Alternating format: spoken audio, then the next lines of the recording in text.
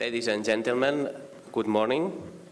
It's a pleasure to be here again with you in this 73rd edition of the IREPAS meeting, held in this particularly marvelous and full of history city, which is uh, Rome. As usual, I will try to give you a brief overview of how the global steel long products market is performing, as well as the outlook of, for the sector in the coming years. As most of you know, Celsa Group, with about 9 million tons of production capacity per year, is one of the largest producers of steel long products in Europe.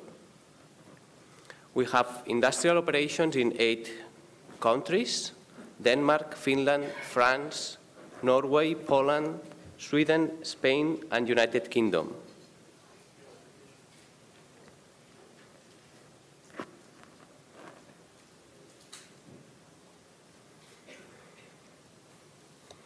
As usual, um, I will start with the overview of the construction sector, which is clearly the key steel using sector for long products, before focusing on steel and long products consumption evolution.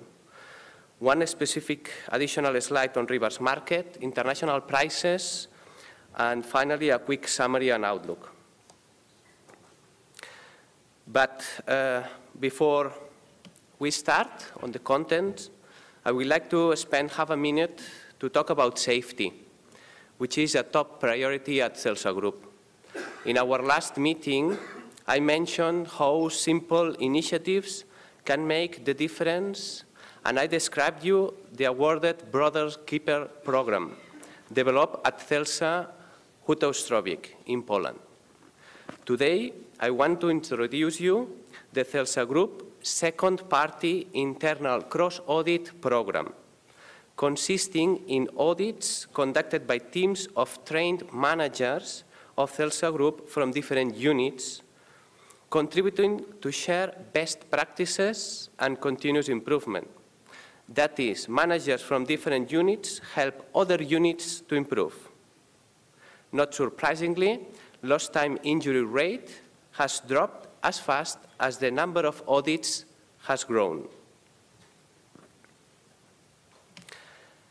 On construction, first, I would like to insist that long-term fundamentals remain very strong for our sector.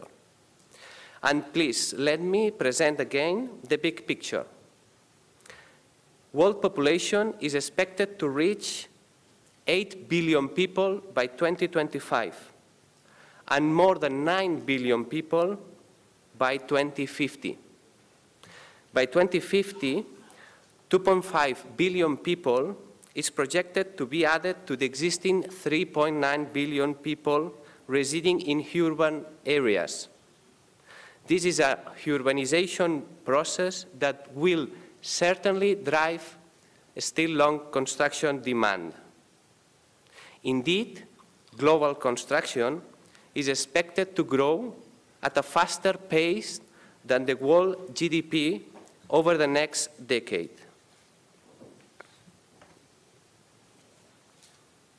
If we take a look at the European Union, we first should notice that the GDP has grown in line with expectations in the first semester of this year. September data shows that economic sentiment on the top figure, as well as business climate in the center of the picture, are both improving. And in fact, in Europe, construction production, it's the bottom figure, has also increased. All in all, European construction output is expected to grow by, by 1.7% this year and by 2.3% during 2016, consolidating the recovery trend after the economic crisis.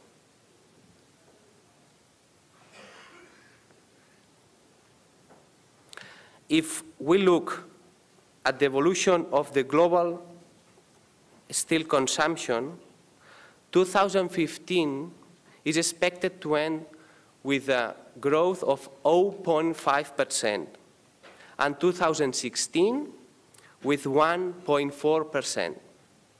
And this despite the performance of the sector in China particularly, which accounts for about half of the global steel consumption.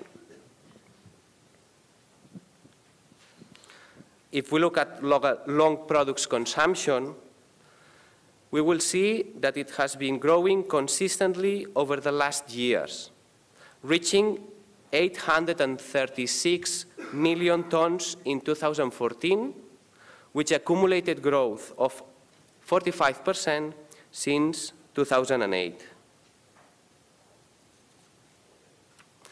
If we take a look at the evolution of the global long products consumption by regions, it is clear that Asian markets are driving global consumption. They account for about 70% of the total consumption in 2014. China, in particular, for more than 50 percent.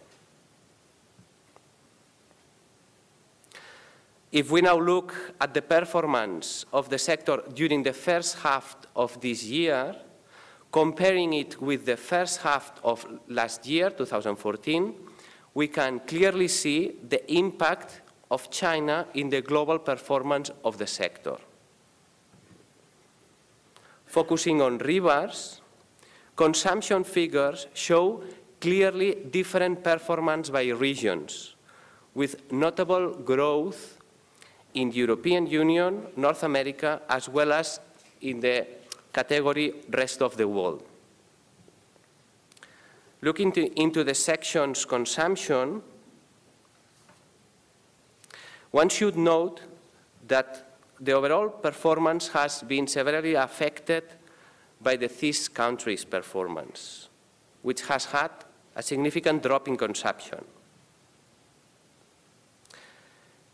Concerning merchant bars, consumption at global level during the first semester of this year, compared with the first semester of 2014, has a decline of 3.8% despite the remarkable growth in the other world category.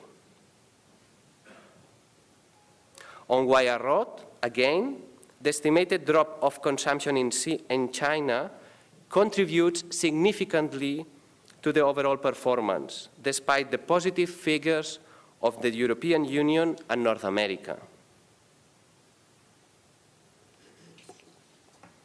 Let's now focus one additional slide on rebars.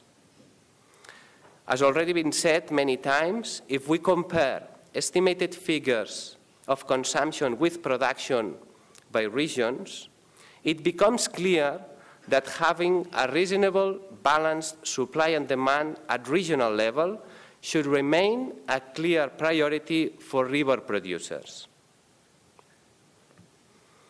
International price situation. If we look at the price evolution for rebars, wire rod and billets, we can clearly notice that the prices has followed the current raw materials price evolution. And please, again, do not look at these figures as real market prices, but rather as a kind of an index to follow the prices evolution.